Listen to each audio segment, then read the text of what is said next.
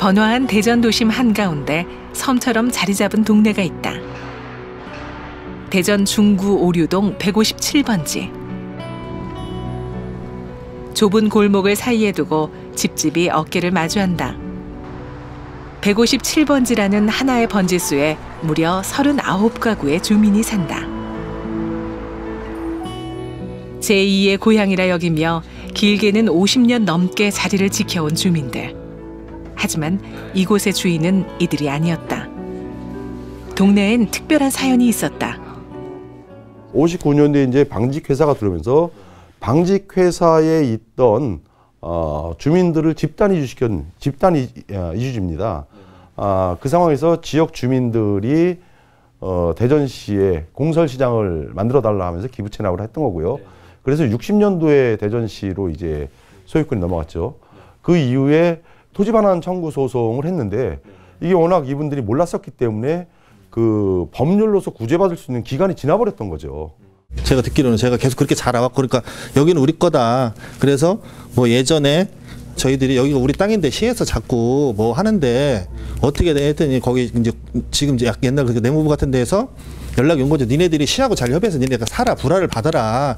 근데 이제 부모님들은 왜 내가 그때 돈 주고 샀던 건데 내가 왜 그거를 사야 되냐. 이게 이제 그렇게 말씀하셨던 거지. 상가 입주자들도 억울한 건 마찬가지.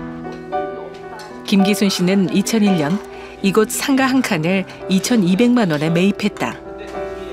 건물이 대전시 소유라는 것을 전혀 몰랐다고 한다. 6년 동안 별 탈 없이 식당을 운영하던 중 2007년 갑자기 대전시로부터 변상금을 내라는 통지서가 날아들었다. 청천벽력 같은 소식이었다.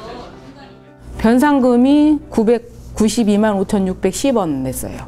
지금 시에서 살고 있으니까 이제까지 세금을 안 내고 살았지 않냐 그동안.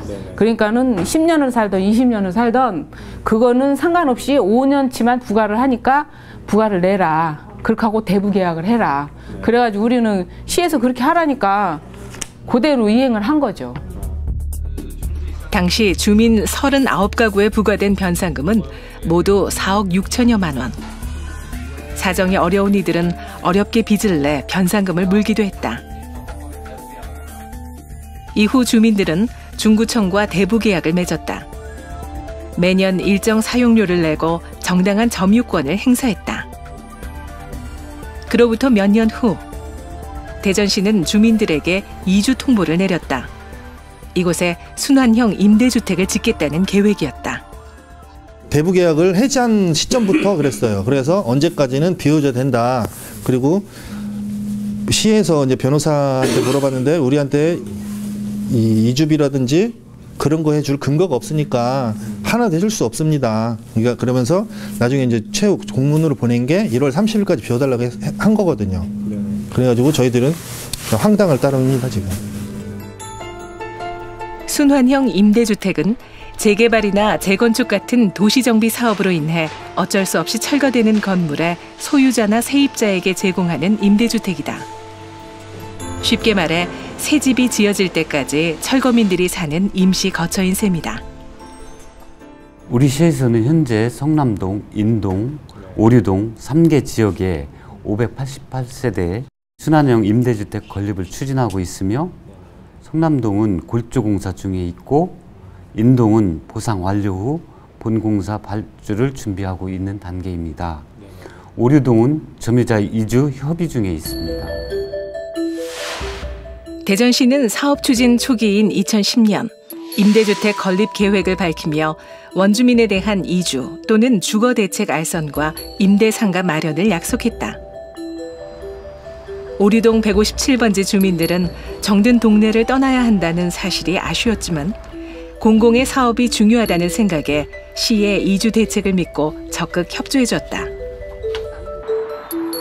하지만 4년이 지난 후 상황은 반전됐다. 대전시가 2010년에 약속한 이주 대책을 손바닥 뒤집듯 번복한 것이다. 동사무소 같은 데에서 그 이제 공청회 같은 거에서 니네 이제 주민들을 위한 겁니다. 주민들을 위한 거 저희들이 이렇게 지면은 당신네들 먼저 와서 이주하게 해주고 장사하는 사람들은 1층이나 뭐 이렇게 해서 좋은 자리를 해줄 겁니다. 그런 식으로 해서 저희들은 다 믿고 있었잖아요. 근데 지금 와서 이제 엊그저께 이제 그런 식으로 뒤집어 가지고 보상해줄 근거가 없으니까는 그런 부- 당신네들이 알아서 해요. 이거는 시유지니까 우리 행정에 대해서 아무것도 모르고 그런 상황에서 시에서는 일방적으로 자기네들이 몇십 년 동안 이렇게 방치하고 있다가 이제 와서 변상금 물리고 대부료 물리고 또 그냥 베껴갖고 싹 베껴서 홀딱 나가라. 지금 엄동설안에 지금 이렇게 되니까 우리 같은 이런 서민들을 가- 이렇게 약자를 그냥 이게 뭉개는 거 아니에요? 소위 아까도 얘기하셨지만 갑질의 행정을 하고 계신다는 얘기죠. 대전시의 2010년 건립 계획안은 공익 사업을 위한 토지 등의 취득 및 보상에 관한 법률에 따른 영업 보상과 건물 보상 등이 명시돼 있다. 당시 보상 및 이주 대책으로는 주거 대부자에게 이사비와 건물 보상, 준공 후 임대주택 입주권 또는 주거 이전비 보장, 상가 대부자에게는 추가로 영업 보상과 준공 후 상가 임대를 보장하기로 했다. 하지만 지난해 12월 시가 결정한 이주 지원 방안은 준공 후 상가 우선 입찰권과 임대주택 입주권 등의 대책만 있을 뿐이었다. 이마저도 상가는 2, 3층으로 제한하고 임대주택 입주는 취약계층이란 입주 자격 조건을 뒀다. 어떻게 된 일일까? 준공후 어, 임대주택에 에, 순환형 임대주택에 입주할 수 있는 요건 또한 일반적 요건들을 제시했고요. 그 일반적 요건에 이분들이 후순위로 밀리게 됩니다. 아, 토지보상법을 적용하면 법적 지위를 갖는 철, 철거민이 되기 때문에 에, 최우선 순위로 들어갈 수 있지만 그렇지 않은 경우에는 어, 재반의 그 어, 우선순위에서 뒤로 밀리는 현상이 나오기 때문에 이분들이 다시 재정착하지 못하는 이런 현상이 나올 수 있습니다. 그 건물 자체가 이제 시유 건물입니다. 땅도 이제 시유지가 되겠고, 그러나 이제 공토법 같은 경우에는 예, 국가기관이나 지방자치단체에서 공익 사업을 할 때 사유 건물을 수용하거나 아, 사유 토지를 수용할 때 적용하는 법이거든요. 그러다 보니까 예, 적용하는데 약간 어려움은 있습니다. 대전시가 오류동 157번지에 토지보상법을 적용하기 어렵다는 이유는 또 있다. 현재 중구청과 주민들의 대부 계약이 해제 상태라는 것이다. 대부 계약서 8조 1항에 따르면 공공 또는 공익 사업이 필요할 때 지자체인 갑은 언제든지 주민과 맺은 계약을 해제할 수 있다. 여기에 근거해 중구청은 2012년 12월 31일 주민들과의 대부 계약을 일방적으로 해제했다.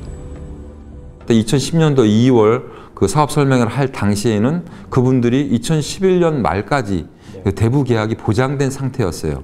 공토법상의 세입자들한테 에, 대책을 세워주는 그런 조항들이 있거든요. 거기에 준한 것으로 설명을 하- 했던 것으로 알고 있습니다. 근데 이제 그 당시와 지금과 약간 차이는 대부 계약을 이제 해지한 그런 상황이기 때문에 그 부분을 똑같이 적용할 수 있느냐 그런 부분들은 법률적인 점토, 검토가 더 필요한 그런 상황이고 주민들의 주장은 다르다. 보금자리 주택 건설 사업이 승인 고시된 시점을 따져봐야 한다는 것이다. 주민들은 2007년과 2012년에 각각 5년간 대부 계약을 맺었다. 이후 2012년 12월 31일에 계약이 해제됐는데 사업 승인 고시는 그 이전인 11월 26일에 이루어졌다. 대부 계약이 여전히 유효하던 시점에 사업 승인이 고시되었기 때문에 토지 보상법을 적용해야 한다는 해석이다. 공익사업을 적용할 때는 사업이 공모되는 시점에 그 건축물을 누가 점유하고 있냐에 따라서 점유자에게 일정 정도의 보상을 하도록 되어 있습니다. 또 대전시 스스로 그 지역 주민들을 모아놓고 그런 보상에 대해서 설명을 했던 어, 일이 있었습니다. 그 이후에 이제 그 대전시가 계약을 해지한 건데 이것은 행정관청이 과연 이렇게까지 해야 되는지 어, 누구를 위한 행정관청이냐 묻지 않을 수 없는 거죠. 공익 사업이라는 미명 아래 절박한 처지에 내몰린 오류동 157번지 주민들.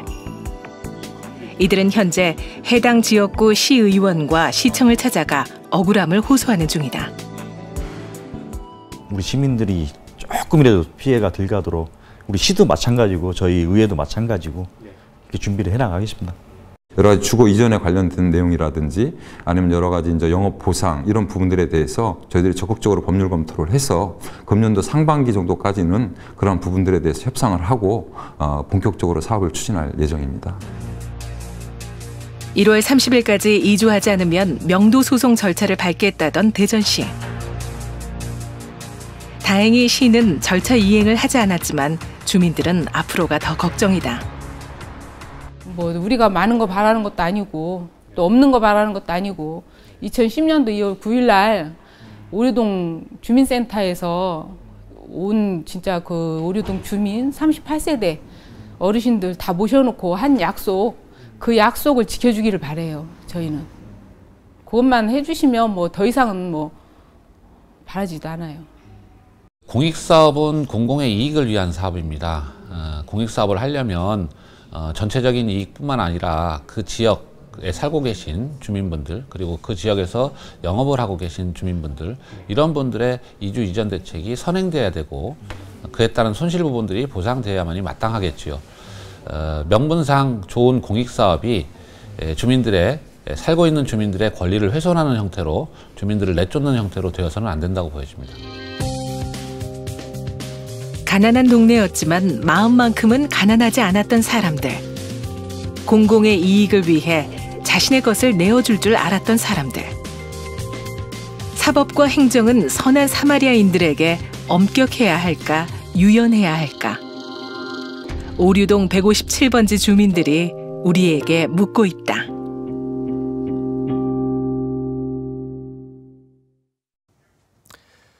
(2009년) 용산 참사 철거민이 화마에 휩싸이며 마지막으로 남긴 말은 여기 사람이 있다였습니다. 강제 이주 위기에 놓인 오류동 157번지에는 가난하지만 마음만큼은 풍족한 우리네 이웃이 살고 있습니다. 여기 사람이 있습니다. 시사 플러스 마치겠습니다. 함께 해 주신 여러분 고맙습니다.